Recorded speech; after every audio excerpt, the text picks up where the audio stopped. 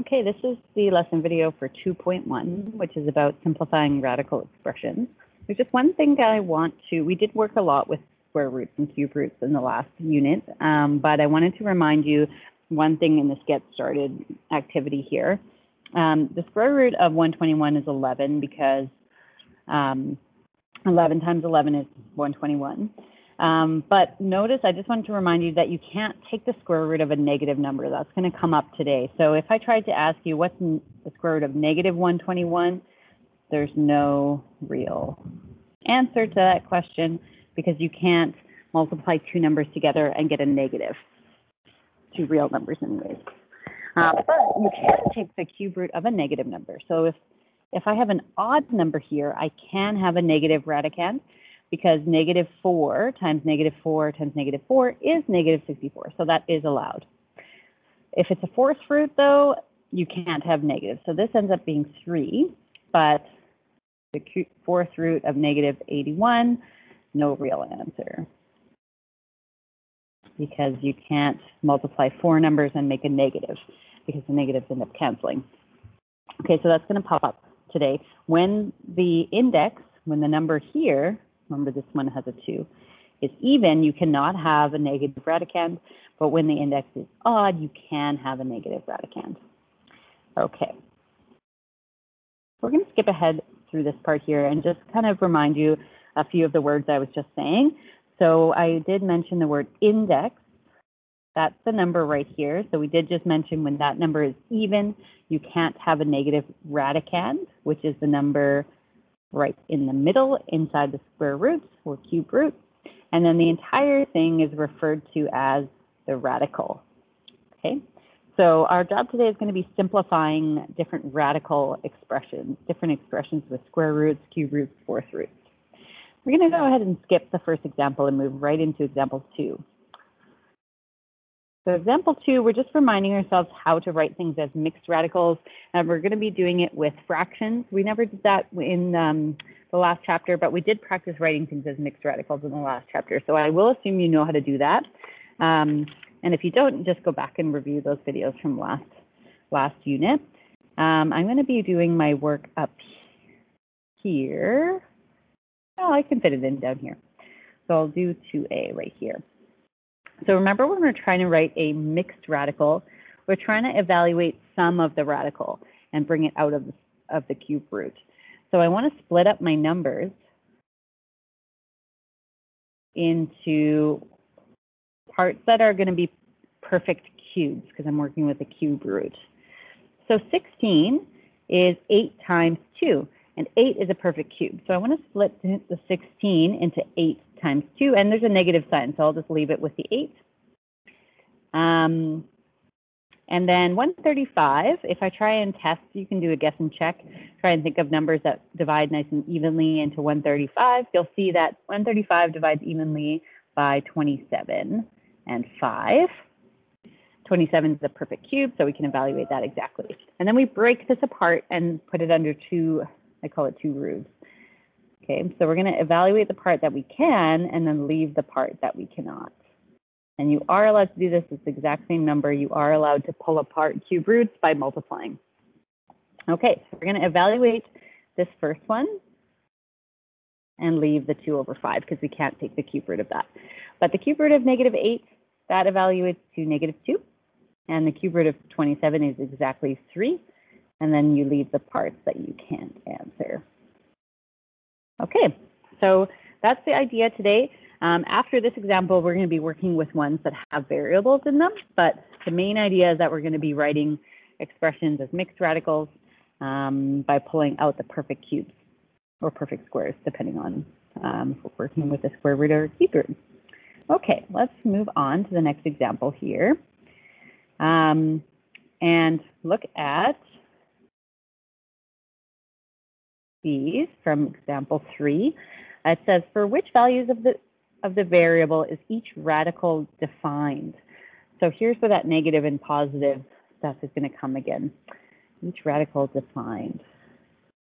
By defined, what it means is, does it, would you be able to answer the question? Does it have a real answer?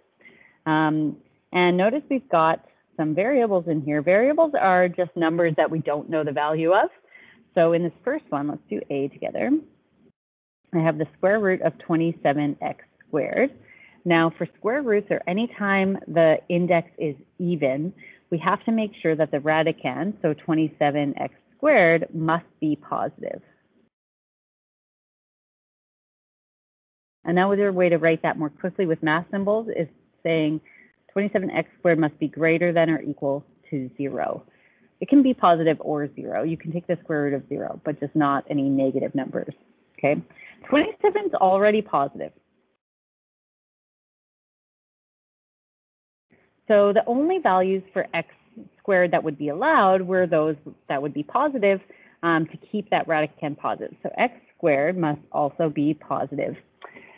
Um, but the thing with squaring something is that it already turns it positive. So if I stuck a negative value in for x, like let's say negative 5, and I square it, I get a positive number out. So actually, I can use any value for x, and this is going to work out and give me a positive radicand, because by squaring that number, even if it's negative, I'm going to get a positive value. So x can be any number, any real number. Um, and we don't want to write that sentence out every time because it takes a long time. So the way that we write x can be any real number in math symbols is we write X and then we write this little backwards E. It means in. X can be in the set of all the real numbers. It can be any real number. And you do this little extra line here to indicate you're talking about the set of real numbers. So that would be the values for the variable for which that expression is defined. You're allowed to put any value of X in there and it will work. Okay, let's look at B though. That's not going to be the same case for example B. I don't have any more room here, so I'm just going to go above the example and you can do the same. Let's do B. So I have this time the fourth root of negative 12x cubed.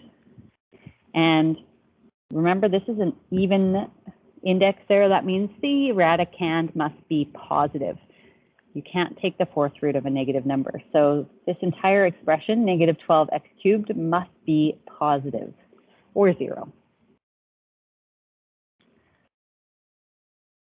Or zero. But what we see here is that we have a negative 12. So negative 12 is negative. So that means whatever x cubed is, it should cancel out with that negative to make a positive number. So x cubed must be less than or equal to zero, or else um, we'll have a negative radicand there. So if it's less than or equal to zero, it'll cancel with the negative 12 and make a positive number. So that means if you're going to cube something, um, it keeps it negative. So that means x would have to be less than zero. That is, um, in words, this means x is negative or zero. You want to use the symbols though, because it's a lot faster to write. And those will what those will be what you see in the answer key as well. So you want to be able to understand the answer key and if you're right or not. So you're only allowed to have negative x values in there to make a um, positive radicand because we'll cancel out with the negative 12. Okay, so that was example three, just looking at these first few expressions here where we have a variable inside our radicand and looking at what variables are allowed to be or what values we can have for our variable. Right underneath here, there's a little important sentence that I want to highlight. We're going to be using this now to evaluate some radicals that have a um, variable inside. So if I want to take the square root of x squared,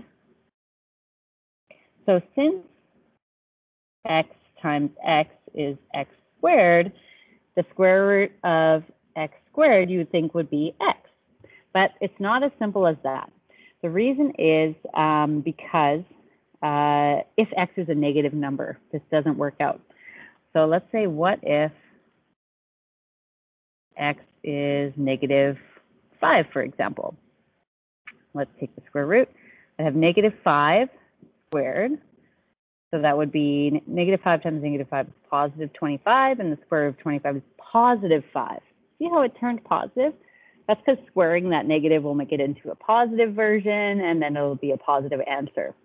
So what we say to counter this is we say that the square root of x squared is not just x, but it's the positive version of x, the absolute value of x.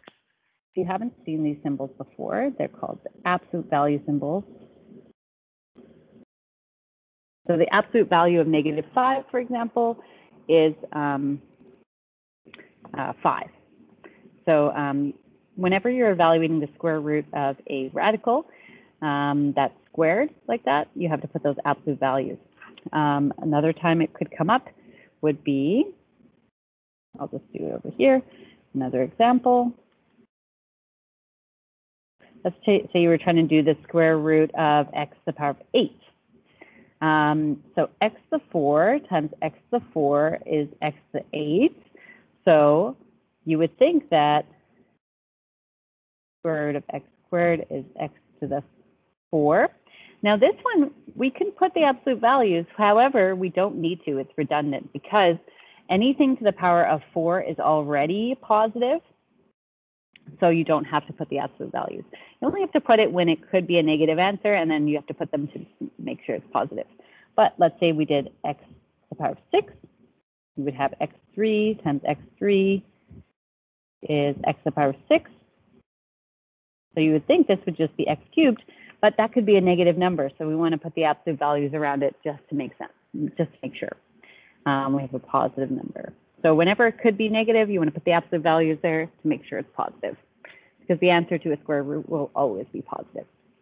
Okay, good. So we're going to use that in the next example here. So in the next example, example number four, I'm going to do every single one of these because lots of different scenarios can pop up with these. We're going to be figuring out for which values the variable of the variable each radical is defined. So just like the last example, but then we're also going to be writing these as a mixed radical too. So one extra step here as well. Okay, so let's look at this first one, 45a squared. Um, so what we want to do is first figure out for which values this radical is defined. So um, we want to, I'll do that in green since I've highlighted that in green already. 45a squared, because this is a, square root, the radicand must be positive. Um, 45 is already positive, so we have to make sure a squared is positive too. But a squared, when you square something, is always positive, so that means a can be any real number. You're allowed negatives and positive numbers for a. Okay, so part one is done. Now we're going to write this as a mixed radical. So for the number, we can do the same thing as we did before try and split it up into parts that can be evaluated and parts that cannot be. For the number 45, we can split it up into 9 times 5. So 45 is 9 times 5. And a squared, actually, I'm going to write it like this. Um, a squared can be, you can take the square root of a squared, and then we'll just leave the 5. Okay. So I'll leave anything at the back that cannot be evaluated. So the square root of 9 is 3. The square root of a squared is a, but remember we need the absolute values because it's going to be the positive version just in case a was negative. And then we're going to have the square root of 5. So this one was 3, this one was absolute value a, and this one we cannot evaluate. So that's the final simplified mixed radical there. Okay. And just as a side note, just again, square root of a squared, a times a is a squared, so the answer would be a, and then we need the absolute values to make it the positive version. Okay, let's do b. This time we're doing another square root.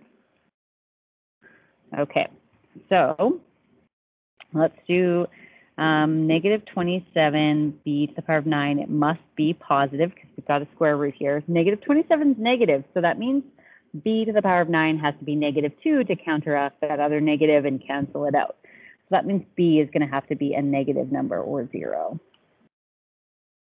Okay, and now let's simplify it and break it down into what I can evaluate and what I cannot.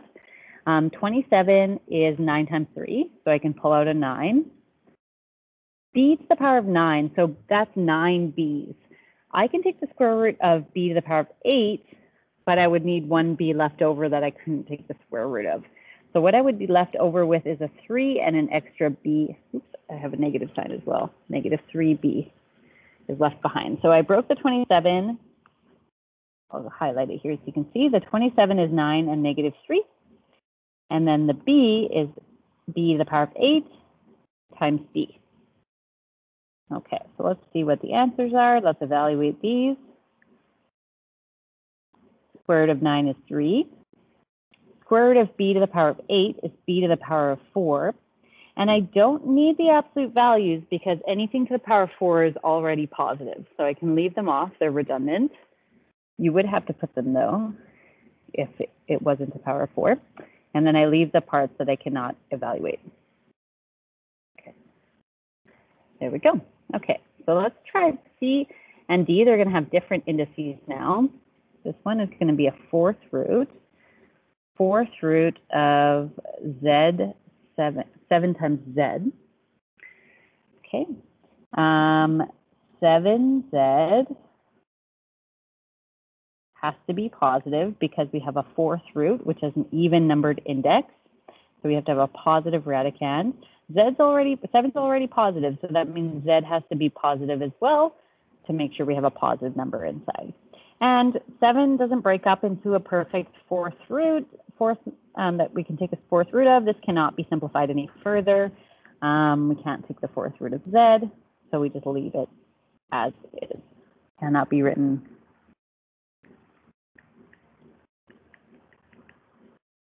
as a mixed radical. But we did find the allowable um, values for the variable. Okay, and last one. See, now we have a cube root, 24y to the power 5. Um, when you have a cube root, remember you can have a negative radicand. You are allowed a positive or a negative radicand. So any variables are going to be allowed. So automatically, we don't have to think too much for this one. All y values are allowed, so y is in the set of real numbers.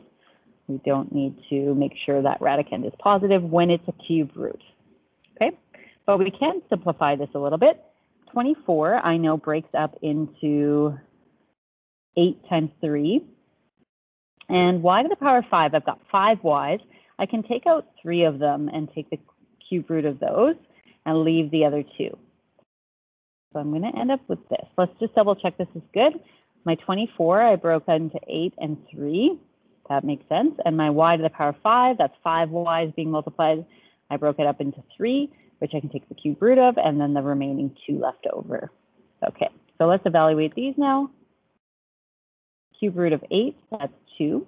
The cube root of y cubed, that's going to be y.